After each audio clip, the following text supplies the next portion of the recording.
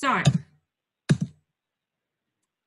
um, I'm going to um, give you some terminology because we will need to use it while we talk about later on about silent stage. So there are uh, two uh, main general uh, terms for language development uh, is receptive language and expressive. Uh, do you guys follow me okay? Do you need anything to be cleared? Okay. Yeah, if not, then just switch on microphones and tell Jane, slow down. I don't understand. Don't be shy. Okay. Just let me know. Okay. So, um, why are we talking about receptive and expressive language? Firstly, uh, because uh, receptive language is the language of the database, of our database in, in mind.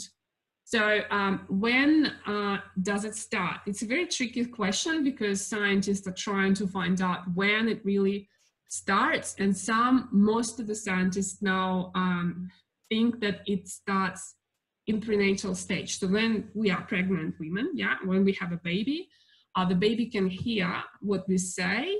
So most of the research is inclined that it actually starts at the very early stage of pregnancy. So then, when the child's hearing is formed, they can actually listen to sounds and mom's voice. And this is when they start to actually hear sounds. Uh, and actual building of receptive language starts when the child is born. So the communication is actually begins in the uterus, yeah. So then the child is in mom's womb. Uh, and then the child is born, he starts communicating by crying expressing himself. Um, you know how kids cry uh, differently um, for different issues, you know, like the hunger cry or some sort of um, you know, happy cry. Uh, this is kind of communication. And this is also receptive language because the child has database in his mind that he should communicate it this way. And then the mom comes and helps all right?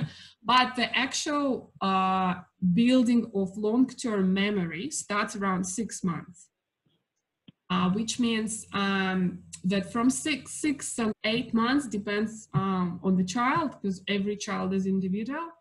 Uh, they start building the database that they will be using later on, not straight away. And this is where we come across to expressive language, this thing. So then they start using the language. It's called expressive language. Okay, then they start telling their thoughts and needs and things like that. Um, what happens uh, next, um, I'll just show you. So by the age of two, they should be able to express at least one word sentence. Okay, uh, I just lost my timer, that's okay. Um, so uh, it's actually very general information. So at least means that some kids will start talking by one, uh, by year, one, yeah, uh, with one word sentence. Some will start a bit later. With bilingual kids, uh, usually if they are exposed to uh, a another background, uh, say to English speaking background, um, and they used to speak their home language, it usually happens uh, a bit later. So say if your child uh, is around one and a half and he start, started to talk um, one word sentence, then you place them in the childcare around two. They may get into the silent stage that we will talk about a bit later uh, and uh, stop talking. Yeah, for a while because we need to build their database of the words. Do you guys have any questions? Anything to ask? Okay, or maybe comment, that's fine. But if, for example, I have a patient when they uh, haven't spoken from the very beginning, and so he is now four, for example, and he can't speak English at all. So it is the same situation or different. Sorry, who is that talking? Can you guys switch on camera when you talk? Because I can't uh, address. Is it okay? Uh, can you hear me now? Yeah, I can hear you, but I can't. Um, I don't understand who I'm talking to. Is it? Uh... So I'm I'm I'm talking about um, my son, mm, for example, because when he was two, he didn't he didn't speak English at all. Yeah. So is is it uh, the same situation or different? Can I ask your name? Your name? I can, I can see who I'm talking to. What's your name? Yeah, my uh, my name is my name is Valentina. Ah, Valentina. Yeah, yeah. I I got it. Yeah. Uh, Valentina, yeah, I uh, think we better talk about it about when we go to silent stage. But yes, I can answer your question. If he didn't uh, start talking uh, at the age by the age of, I mean, if you were talking Russian, as I understand, you speak Russian, yeah? That- Yes. yeah. So if you were talking Russian at home, uh, and he started to speak one word sentence, is it what you're saying? No, he didn't. I mean, when he was He two, for example, because you are talking age of two. Yeah. Yeah. So he didn't. Yeah, and so yeah, That's he didn't. telling- Yeah, he didn't. So that's why I'm telling that some children, especially boys, they will start talking a bit later. Okay. It's Uh-huh. individual. The girls usually start talking earlier, like around one. Uh, and the boys have different, uh, the girls and the boys have different uh, parts of brain responsible for the talk. I mean, they have the same parts of brain, but they have different um, hormones responsible for socializing. The boys uh, really want to socialize till the age of two and a half, three, and they don't have that necessity to actually talk. But it's a very different story. I'll tell about uh, that a bit later in the lecture, okay? Uh, Mhm. Yep. Thank you. so, Yeah. So by the age two, two to three, receptive is much wider than expressive. And expressive is approximately 300 uh, to 900 words. Uh, so what happens? The receptive language that we are talked about um, is actually the language of database. And if you probably, as parents, uh, already came across with that terrible twos, put your thumbs up if you had your child going on the floor crying and screaming, was trying to tell something but he didn't get it, and then they start having that hysterical thing. Did anyone uh, have it? Like, you know, then they start, yeah, yeah. Then they start um, crying out of the blue. This is mainly happens because their receptive language at this age is actually wider than expressive. So they want to tell more and they know what the word means, but they can't really express it yet.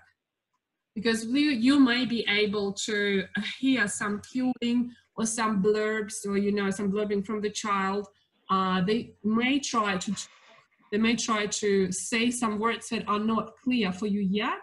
As a parent, you may be able to actually pick it up and understand that this particular tata, for example, means dad, or tata means bottle or toy or something else. But uh, for most of the people, you they won't be able to pick it up straight away. But at the same time, you don't know all the words because then it starts, then the child starts learning then they start saying words by kind of parts of the words that are not recognizable, then it's the most difficult time for the parent to actually address, you know, to the child and uh, try to communicate with him, same with him or her, and same with the child. It, it's very hard for the child to actually express their feelings because nobody can understand. And that's why we come across with terrible twos between two to three. It will go away as soon as they get their expressive language. And at, at the age of three uh, and a half, three to five, this is called preschool age. This is actually the first part here is called um, toddlers. Yeah, or your child will go to toddler room. Uh, they don't talk too much. They play in a parallel play. Uh, so that means they don't play with each other, but they mainly play um, by side of someone else because they can't really yet talk, but they want to play. They learn from each other. Uh, and their long-term memory is still developing.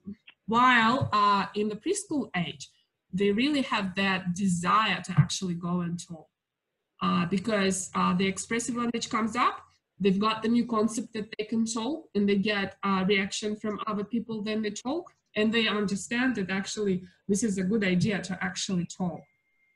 Uh, so by the age, I mean, around three to five, the child should be able uh, to talk 900 to 1,500 words. Okay. Oh, sorry, guys. I think somebody else is trying to Okay, excellent. All right, let's move on. Oh, okay. So all the five, as soon as we go to school, uh, after five, they actually start blurting and talking. Um, guys, do I, can I please, you can switch your microphones on and can I ask you, what are the age groups of your children? Interesting. I've got my care uh, who have three languages as well. Uh, and, uh, Plus, they started to learn some Japanese at prep. oh, this is amazing. I have the child who speaks German, English, and Russian in my, and he he's doing great. He's only uh, Yes, two and a half. He's two and a half, and he can actually understand and express himself in in language in three languages. Yeah, they absorb everything like sponge. Yeah. Other people who won, all right. Um, um, I'll come back to actually, it's very interesting that both parents are Russian, and I'll mention that, and we'll go to different types of bilinguals. Okay, look, let's stop off right now uh, a bit um, uh, on the bilingualism priority or difficulty. Uh, okay. So um, what I'm trying to tell you today, guys, that we, uh, it's a good idea to actually try to preserve Russian language. And I think we all of you know, because I know some parents asked me, should I just refuse speaking English and I'm going to help my child? Uh, I mean, sorry, refuse to speak Russian and I'm going to help my child socialize better in a childcare environment uh, by uh, giving him more words in English. Well, I'll tell you why you shouldn't do that. Well, first of all, the first priority is bilingual children views of their language shape negative or positive disposition towards their home language. And then children are encouraged to speak their home language. This fosters positive experiences with and dispositions towards the use of their language. Okay, that's like a lots of words, but I'll explain it in simple way. Uh, this means, usually means that if we start insisting on English, uh, and we are Russian, yeah, we have Russian background, uh, we still will talk Russian uh, with our family or with someone. And uh, what happens to a child within the age, they will start, they will start thinking that speaking Russian is something not really, you know, nice.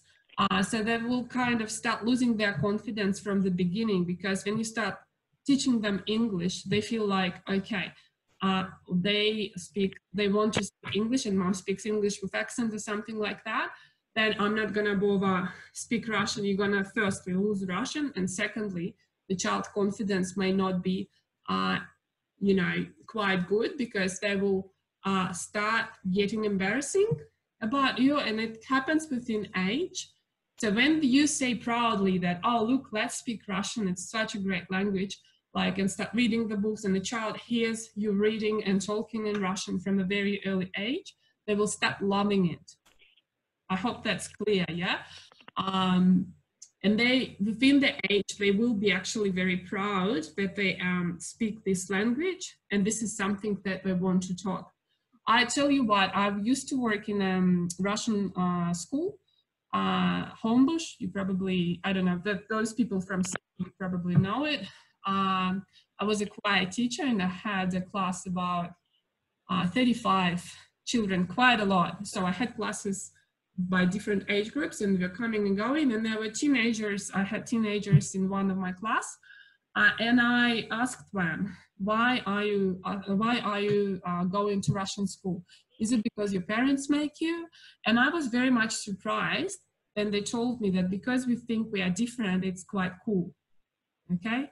So they said, um, I, I, they were just proud of what they actually have another language because it was cool to tell other people or tell something in Russian language in front of other Australian guys, you know, who can't talk English. I mean, can't talk uh, other than English. Um, so this um, um, particular slide is done by uh, Jones Diaz, and I didn't tell you because I thought I won't have time, but no, I can tell you because I've got it unlimited. Um, uh, I used to study in University of Sydney. We had a huge training with this lady. She is specializing in bilingual children, and that's from her one of her um, um, lectures. Yeah, so she was doing a study on the Spanish children. She was working with Spanish children for a while, and she had five uh, kids whose parents were emphasizing on learning Spanish, and she had another five kids uh, whose parents were actually trying to speak English at home. Uh, with Spanish accents probably, but they kept speaking Spanish with each other. And this is how the children felt about themselves. So those, the group number one, they felt happy, free, good, normal, fun, great, smart, proud, and confident. And group number two uh, felt weird, crazy, and different. So this is how, this is why I'm explaining about self-confidence. Because when we are, the child will still know that you have different background. And if uh, you kind of try to hide that, then they start feeling like this, okay? So probably not a good idea. Okay, next one. Uh, we're talking about priorities and benefits a bit further. So I uh, hope you heard about this terminology, but in general, first language development facilitates second language learning. So it's interesting. It actually was in the research somewhere that then uh, the child uh, learns one language, then somehow, uh, and it's another environment. Yeah, so if we, speak home language and the child knows there is another environment, he somehow quicker get the second language, okay? Despite the silent stage and everything, because silent stage only lasts until school year uh, one, kindergarten. Yeah, uh, later on I'll explain why. And uh, partly dependent upon conceptual development and proficiency already achieved in the first language. Uh, early literacy learning is enhanced by early bilingual experiences. I know it sounds a bit funny, uh, maybe not really clear. I'll explain what, why. Have you guys heard about flexibility of mind terminology? Uh, ребят, можете включить микрофон и ответить мне. Have you heard of flexibility of mind? Anyone? Yeah, I think it's just like a recent, recent experience here in uh, science. Yeah, Yes, it's actually, it's been for a while in the science. Yes, uh, the flexibility of mind uh, is um, when you learn with child something academically. Yeah, like say you learn maths. then uh, the child is able to transfer yeah to transfer this concept this concept is conceptual yeah development uh, to uh, another any language so say if you start from now, you want your child to start, say, reading, and I actually work with the child who can read in Russian, but he uh, can't, well, like he was not familiar with English. He is doing so fast uh, because he is learning English as his second language. He's done so fast in reading sentences. However, he uses a different mythology. Uh, in English, we, I mean, it's a bit different story, but in English, they learn it with spelling, words and sight reading and things like that. But in um, uh, in Russia, we we read by syllabus. So he's funny. He's reading English words by syllabus, but he's doing great. He's actually. Yeah, my, my daughter, my first daughter, yeah, did the same. She started to read Russian about four, and then th then she comes to school. She uh, before school she start by syllabus. And, yeah. Yeah. Yeah, this is flexibility of mind because they transfer it very easily uh, and um, mm, ability to switch from one language to another. This is actually a very amazing thing. Uh, this is when we will be talking about balanced bilinguals. Um, say my daughter, she's 12 years old, uh, and she um, can speak uh, two languages equally likely. So she's balanced bilingual, and she's working for me now and teaches kids to speak English. She's only 12, which is amazing. Yeah, she can switch from one language to another easily without any accent and have fluent speech, you know, fluent speech that she uses in school and everywhere. And we have that project there, kids talk to Russian kids uh, in, in Russia to help them to understand fluent speech. And this is amazing, I think, if you say the language, then you can easily do this thing with your child. And the child is very happy about himself or herself that they can do that. So identity and family links identity it's what we talked about self-esteem. This is self-esteem here as well. Uh, family links like how are you going to talk with your grandmas? You know, if you don't know Russian and yeah, and they don't speak English. So societal economic gains, that means that, you know, the child can go to Moscow and start working for Moscow because he's knows Russian. And here we go. Finally, uh, we are here, uh, bilingualism main types. So what I want, why I actually asked you to share your stories, what languages you speak, I mean, at home, and uh, what your age group of kids, because we are going to talk about this. So there are two main types of bilinguals. Right, in some uh, resources, you may find more information or about more uh, different types, other types, but the main types, and I like that uh, kind of um, uh, division between simultaneous and successive because it explains mainly everything. So the simultaneous bilinguals are those uh, who come from the families uh, where one parent, and I think we had one, we have one family uh, uh, who was that, uh, who has a Spanish uh, husband. Who was it? Uh, sorry, I put it down, but my writing is so messy. I was Tanya, yeah? No, not Tanya. I think Tanya. No, no, not me. It was some someone else. Ah, Someone with sorry. a- yeah. Nata- ah, Natasha, maybe. Yeah, with an Italian А, husband. У нас итальянский, если вы Oh, имеете в sorry, виду. Italian. yeah. Italian, yes. Italian, yes, not Spanish, Italian. I can Yeah. talk about Spanish before, but yeah.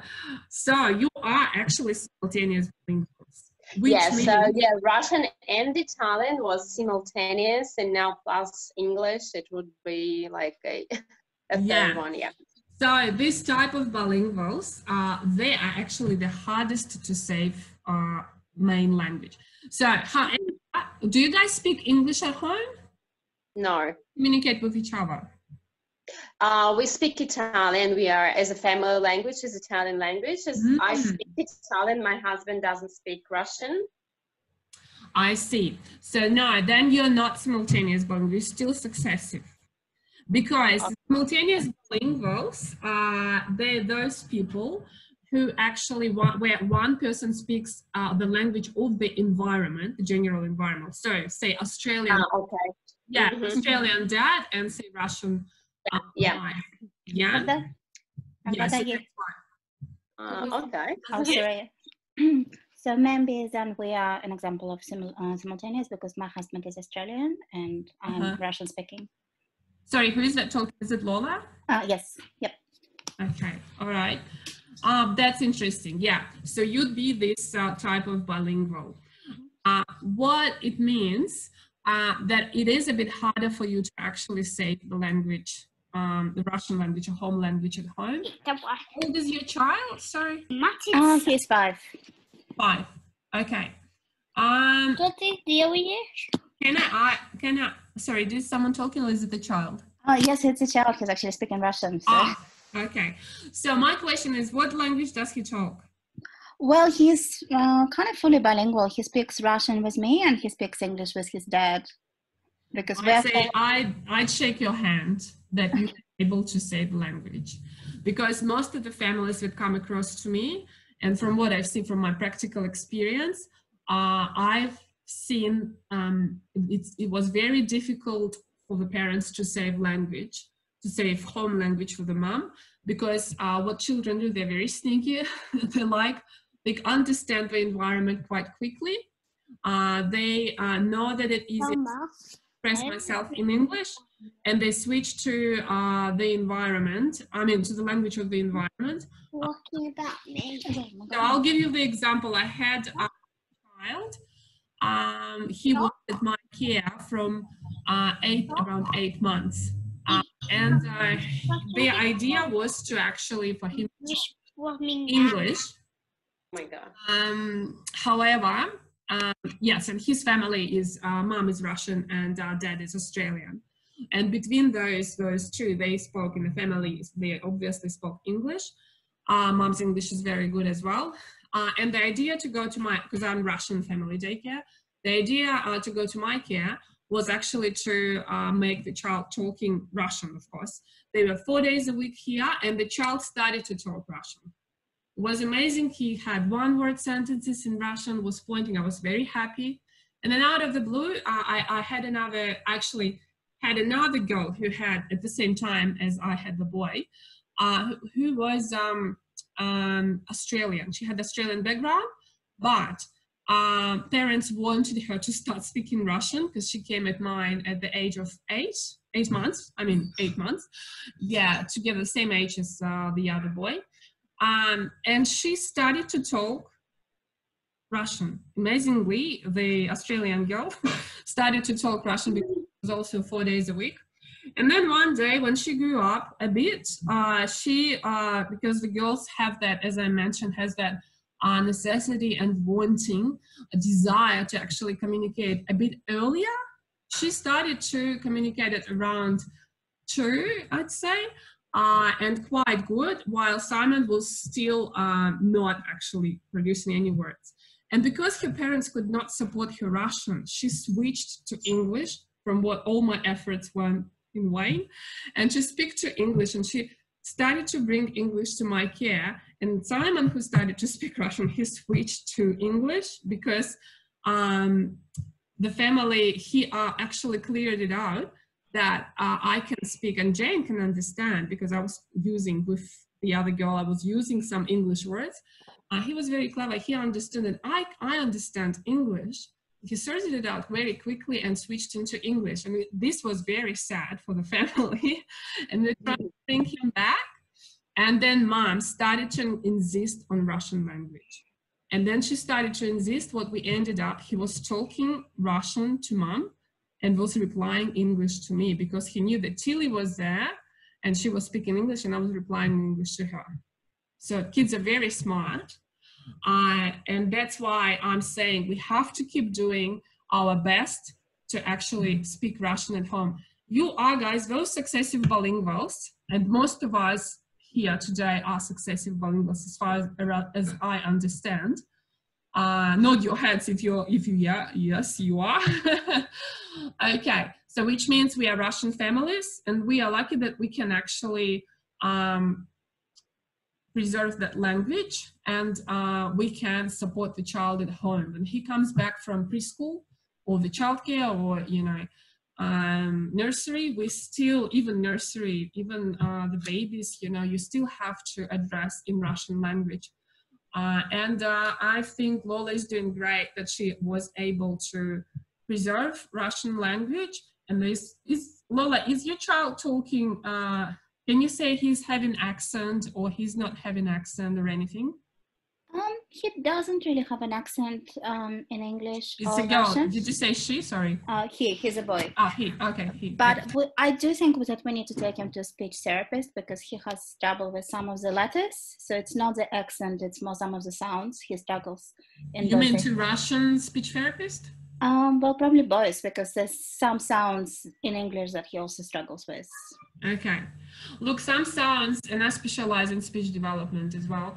Uh, some sounds shouldn't come up. Uh, well, they should come up uh, five. If you're talking about sh and ch sounds, uh, then you shouldn't worry until he turns five or six or a bit later. Mhm. Saying for you to, you know, but it's a good idea to check anyway. There is actually free assessment in Sydney. I don't know which state are you from, but I'm from I'm from Victoria, and we were advised to go, and we were gonna go before the whole COVID thing, and now I guess we're gonna go a bit later. yeah. So yeah, uh, I'm not I'm not familiar with Victoria. Sorry guys, but. If you guys have any questions about where speech assessment can be done, you just put down in the chat, and I give you an address or some information if you would like to do that. Okay. Okay, uh, so uh, let's move on. So, guys, ah, one more thing, very important thing. In successive bilinguals, so they study English as a second language and identify more strongly with one language. So, probably the home language initially, uh, and then they go to school, they may switch to another language, but usually if we support Russian, then they have what we call balanced bilingual. And the most important thing, what we're going to talk about today, is this. Can you guys all see that? It's oopsie daisy. What did I do? It's a silent stage. Yeah. So those types of bilinguals usually go through silent stage. Sometimes it happens to simultaneous, but I've seen it very rare. It's very unlikely. Um, however, uh, the successive bilinguals will do.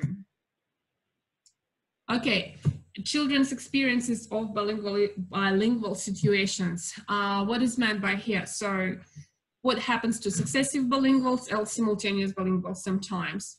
So uh, the positive thing about uh, the additive thing about successive, typically for successive bilinguals, the home language is maintained and developed as English is acquired effectively. So which means like the child speaks Russian and they go to the childcare center and they acquire some English words. So, you know, you, your child started, say, your child started a childcare in like one month ago, then he starts bringing, he may, he may go through the silent stage. Not all kids go through silent stage, but most kids do. And say in three months, he starts bringing one word uh, in English, yeah? uh, or two word sentences. It depends on the age. And we'll have a look at the study um, of uh, which age actually is more prominent on stage.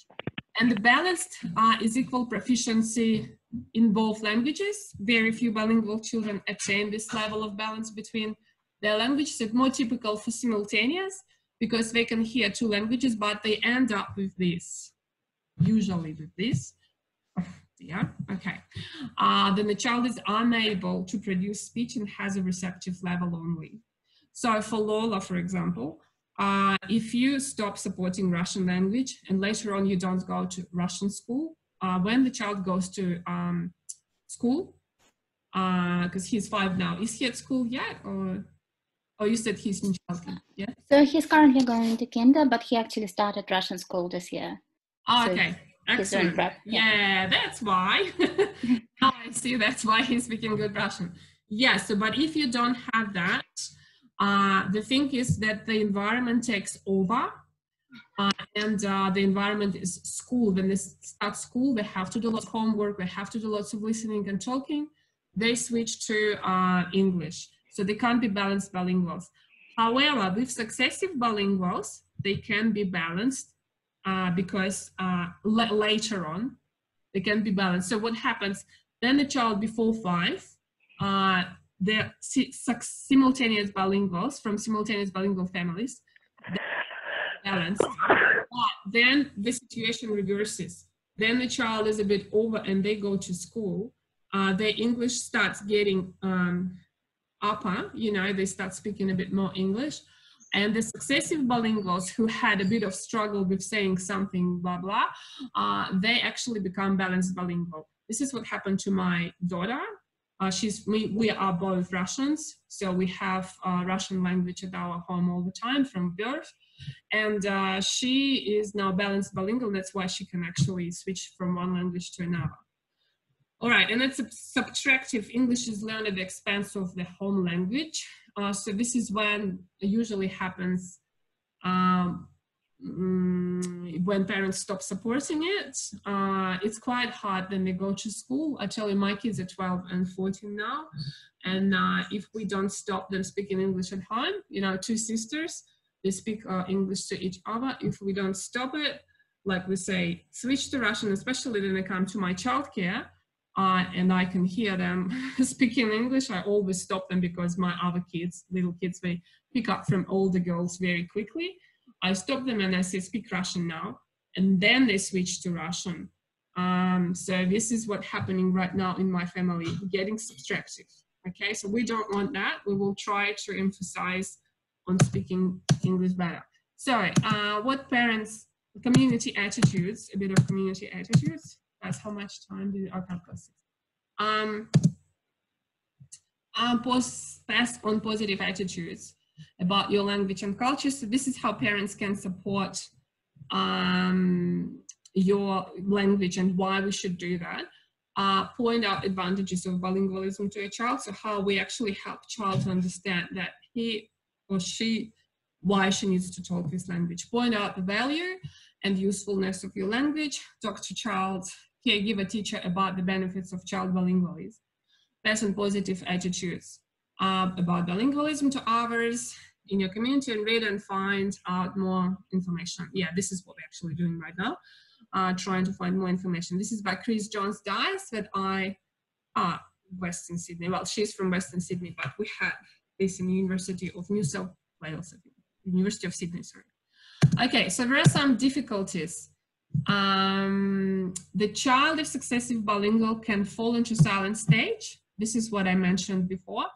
And we're going to talk to about silent stage and ideas how to help child uh, to get rid of, I mean, go out of the silent stage. Uh, in some cases, may last for more than six months. Well, to be honest, guys, I've seen um, this is uh, this is for the child who's withdrawn. I've seen the child who was withdrawn, uh, which means he wasn't talking or communicating with anyone at six for six for longer than six months. But in general, uh, the signs of uh, silent stage they can stay uh, till one year. If if the child constantly exposed to English speaking environment, it's not like you place the child in the childcare and then you pull them out because you thought, oh no, that's not right because he's in silent stage, and then you place them back. Um, so there, the maximum that I've seen with the child who's constantly exposed to English speaking environment was one year with some behavioral issues and things like that that I'm going to talk about. Uh, if the speech delay presents from birth, having two languages won't extend speech delay. So um, I know some of you uh, mentioned, or somebody mentioned that you're going to see speech therapist. Uh, Lola, I think you did, did you? Yeah, you said that. Um, it's nothing to do with you, but I'm just saying that some parents who are concerned, because you have consonance problems, you have some pronunciation stuff, but I've seen kids who have speech delay, um, and it's quite unclear, to be honest, uh, to find out if the child has speech delay till the age of three, four, when the child should start talking and you don't know why he keeps silence. There could be different reasons, could be some hearing problems. Uh, you know, it's not necessarily that he can't hear, but he may have a glue ear, for example, uh, which means uh, he can't hear properly or hear only 50%. And then he starts talking words and um, there would be uh, some sort of uh, pronunciation that, that is not clear, but by the age of three, it should be clear, guys. Uh, but having two languages won't extend speech delay. What happens when you take out the other language? You just take the other language out. You don't actually uh, deal with speech delay because if the child was born with speech delay, you can't really uh, change him. You can't really help him. You can help him to do the speech therapy and try to working, but if you're taking one language out, you won't get rid of speech delay. So I don't recommend uh, to uh, take the other language away um, because you're just losing the language and you won't be able to bring it. This is only for child with a speech delay, with minor speech delay, but not with child with autism, okay? Because kids with autism, they, they are treated very differently. Okay, um, it still should mention here that this is quite controversial um, because there are some studies, um, there's some, some psychologists, I don't know if they're not qualified, but we had someone, uh, uh, one of the parents who was telling that her psychologist told her to get rid of the other language. Uh, I don't know that it has to do with professionalism or something like that, and they didn't know, uh, or they just didn't want to bother but they say, some psychologists say, take another language out and it will help. Uh, according to uh, Jones, Díaz, another lady who I was talking to, uh, she says that it's not going to work. And I should tell you that it's actually not uh, make any difference. All right, if the child for any reason did not have enough exposure to English speaking environment before starting school, and have some difficulties communicating. This is quite obvious uh, and um, of course, if uh, we've got so many parents who come from Russia and they go to school straight away, I mean, kids go to school straight away, they uh, don't have uh, English, enough English, but uh, given the age group, they will pick up language very quickly. And usually ESL support is offered. The end of session one. So we're gonna talk about silent stage in more details in session two.